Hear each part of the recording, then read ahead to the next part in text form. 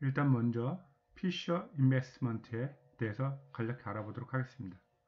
설립자는 필립 피셔. 이 사람은 어, 떤 사람이냐 하면 이 사람은 어, 워런 버핏 할배가 뽑은 두 스승 중 한 명입니다. 타임지에서 선정한 역사상 최고의 투자자 10인 중 한 명이고요.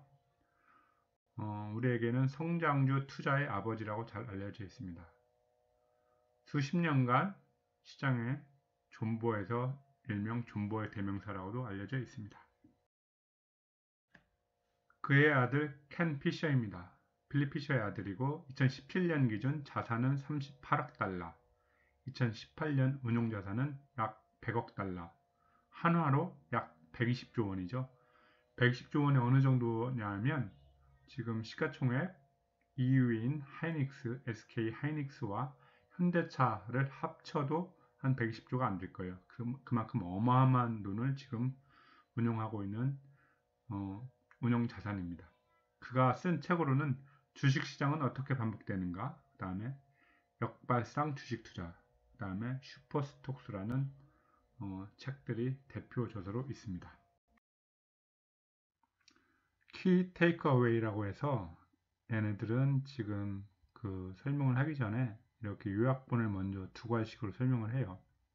보시면 첫 번째 문장이 예상치 못한 빠른 속도로 시장이 내려가서 예전의 발병과는 다르게 놀랄만한 제도적 대응이 이루어짐. 지금 보면 미국 같은 경우에는 무제한 양적 완화를 시행 중이고 지금 대한민국도 한국은행에서 돈을 풀어서 유동성을 지금 확보하고 있죠. 두 번째가 경제에 영향을 주는 기간이 얼만큼 영향을 주는 것보다 중요하다. 그러니까 듀레이션, 영향을 코로나 바이러스가 영향을 주는 기간이 예, 얼마나 되는지가 가장 중요하다고 얘기를 했고요. 세 번째는 독감이 끝나는 시점에 바이러스가 누그러진다면 주식은 일반인들의 예상과는 다르게 빨리 회복될 것이다. 이게 지금 독감 바이러스처럼 3, 4, 5, 6월 그러니까 날씨가 따뜻해지면서 조금 수로들 어, 가능성이 있기 때문에 이런 얘기를 했고요. 깊은 경기 침체가 온다 치더라도 이미 주가에 반영된 것처럼 보인다라고 설명을 했어요. 그리고 마지막에 강한 추락은 강한 반등을 동반하게 되니 투자자라면 V자 반등의 긍정적인 부분을 준비하는 것도 괜찮다라고 의견을 피력했습니다.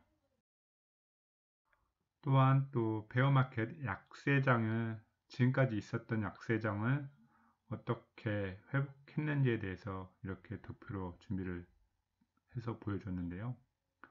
가장 오랫동안 약세장을 겪었던 게 1937년 3월 6일부터 1942년 4월 28일까지 62개월 어, 62개월 동안 약세장이 지속이 됐고요. 그때는 주가가 마이너스 60%, 그 다음에 에버리지 먼스 리턴이 1% 정도 그는 1% 정도로 해서 회복을 해서 62개월 동안 그런 식으로 지금 약세장이 기록을 했다는 거고요. 지금 코로나 바이러스는 3월 16일, 2월 19일부터 3월 16일 한 달 동안 지금 마이너스 2.20, 마이너스 29.5%가 지금 빠진 상태로 지금 보여지고 있습니다. 그래서 피쉬 인베스트먼트에서 지금 생각하는 세 가지 시나리오를 보면 이 코로나 바이러스가 석 달 또는 그 이전에 끝났을 경우, 그러니까 셧다운이 석 달 이내에 끝났을 경우에는 음, 자기네들 생각할 때는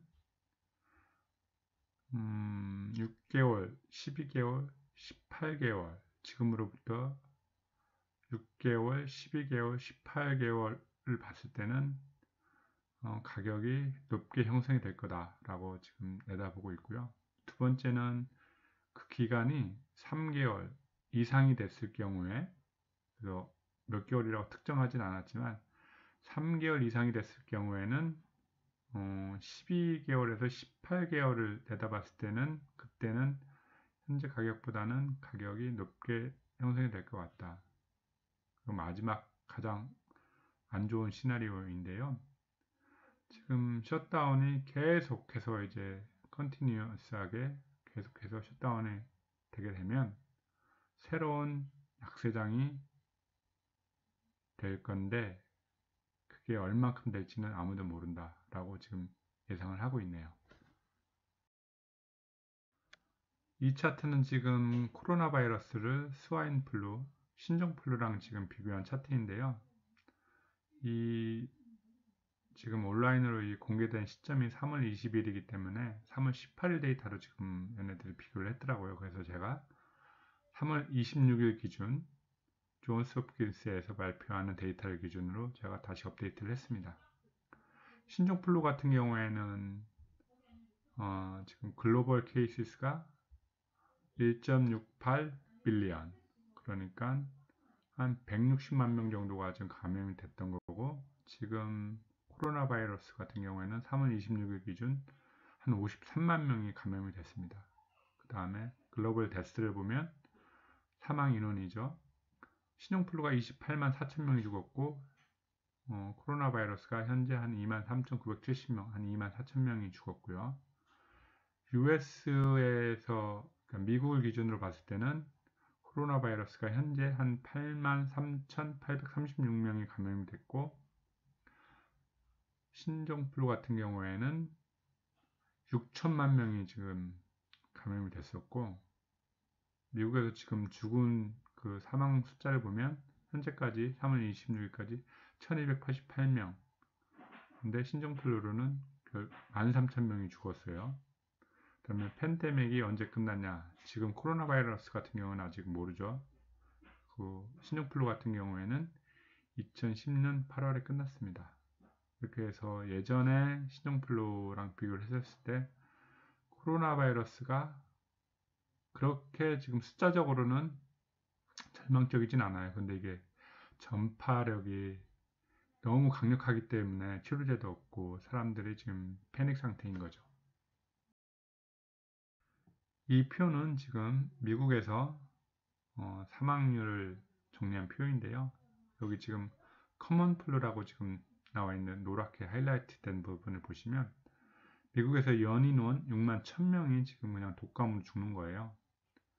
독감으로 죽는데 어, 지금 하루로 치면 하루로 하루에 한 167명 정도가 독감에 의해서 죽, 죽는 거죠. 근데 코로나 바이러스 같은 경우에도 지금 현재까지 뭐 그렇게 숫자가 많이 죽는 걸로 나타나지는 않는데 지금 사람들이 패닉에 빠진 게 어, 치료제도 없고 그다음에 백신도 없기 때문에 지금 패닉 상태에 빠져 있는데 그렇게까지 패닉으로 빠지지 말라는 그런 의도로 이런 그래프를 보여주더라고요.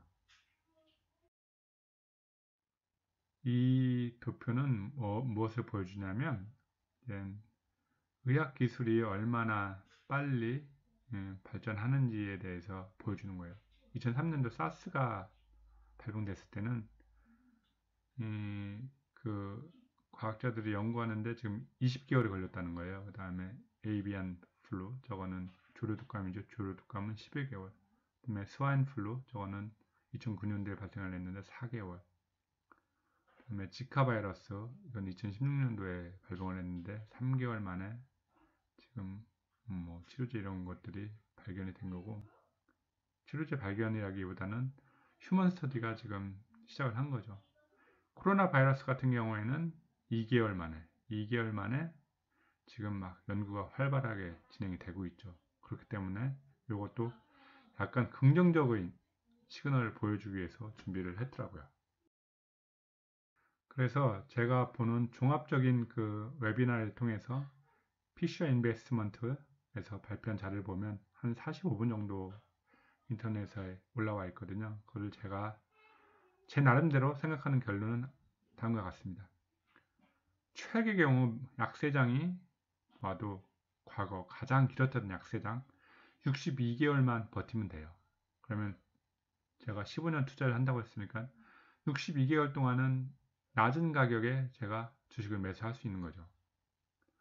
그렇게 하고 결국엔 지금 불마켓 강세장이 다시 오게 되면 약세장에 어, 낮은 가격으로 주식을 매수한 것들은 강세장을 만나면 제가 수익률이 엄청 높아지겠죠.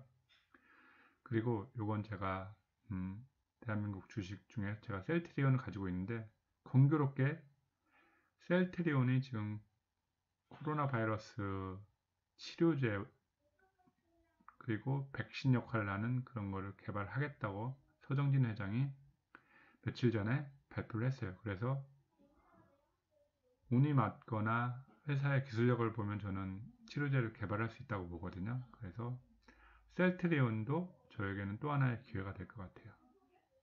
그래서 저는 긍정론자이기 때문에 언젠가는 이 코로나 바이러스도 슬기롭게 이겨내리라고 생각이 됩니다. 근데 아무 자료도 없이 긍정 회로만 돌리고 있으면 그러니까 제가 피쉬 인베스트먼트.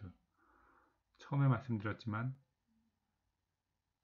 자산 운용 규모가 한화로 120조 120조를 굴리는 그 자산 운용사의 부사장이 부사장이 현 시장을 어떻게 보는지 2020년 3월에 3월 18일 보고를 준비해서 3월 20일 날 유튜브에 올라온 영상을 제가 간략하게 소개해 드렸습니다.